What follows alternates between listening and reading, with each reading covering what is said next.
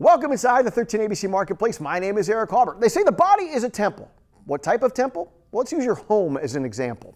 Now, much like your body, the home, it needs to be taken care of. Maybe less Oreos in the pantry. And how about the foundation? It needs to be firm, clean, and dry. How do you get that? We find out inside today's 13 ABC Marketplace. You know, you don't want anything to uh, smell stagnant, you know, stale, uh, muggy, musty. Those are the typical uh, signs or, or, smells that we get.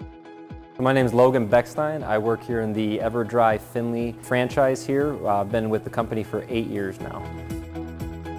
So we are in Findlay, Ohio. Uh, we recently had a lot of franchises, you know, move, and so we decided to revise our location to where now that we're in Findlay, we're going to service, you know, far as Huron, um, Richland County. We go all the way down as far as like Shelby and Mercer County now. We actually hug the Indiana line and now we recently took over a, count, a couple counties in Indiana. So we now service the tri-state uh, area with Indiana, Michigan, and Ohio.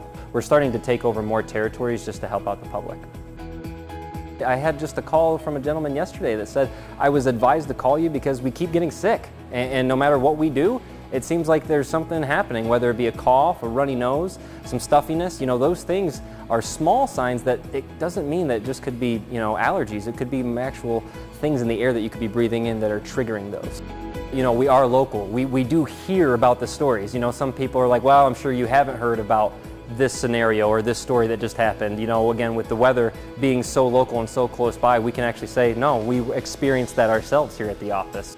So an ESOP is an employee stock ownership plan. Essentially what that means is that we are now employee owned.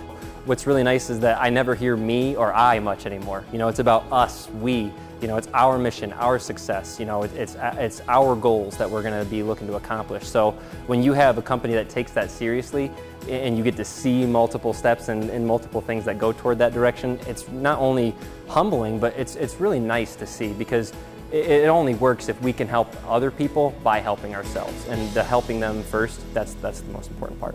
And when are you running for election? Inside the 13 ABC Marketplace, I'm Eric Halbert.